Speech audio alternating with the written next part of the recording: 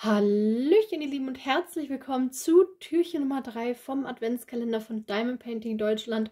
Und ich wünsche euch einen schönen ersten Advent. Ja, wie die Zeit doch rennt. Und wir machen gleich mal Türchen Nummer 3 auf. Das ist auf jeden Fall auch gut gefüllt.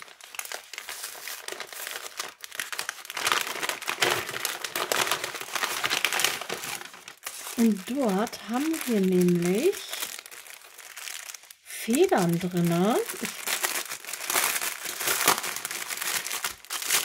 Wir machen das Ganze einmal mehr auf.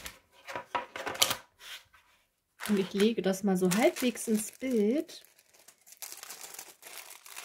Und dann holen wir einfach mal das Ganze hier raus.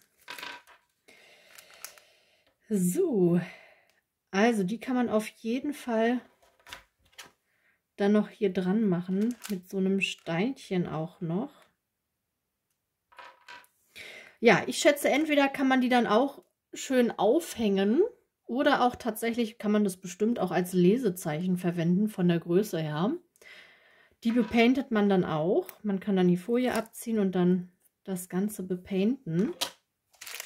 Und hier haben wir tatsächlich unterschiedliche Strasssteinchen drin, größere Strasssteinchen, auch Tröpfchenform. Und sogar das Orange ist eine AB-Farbe, wie man erkennen kann. Die hat so eine schöne Beschichtung.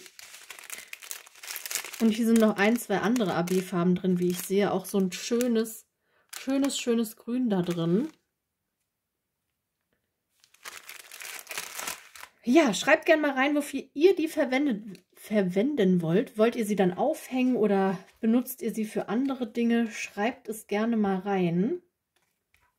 Das kann man ja dann individuell entscheiden, entweder als schönen Anhänger oder beispielsweise auch als Lesezeichen kann man das bestimmt benutzen. Man kann das auch bestimmt sehr, sehr gut verschenken. Auf jeden Fall mega schön, auch die Farben blau, gelblich und mehr lila. Ja, schreibt gerne mal rein, was hattet ihr heute so in eurem Adventskalender und wir sehen uns dann morgen wieder bei Türchen Nummer 4. Bis dahin.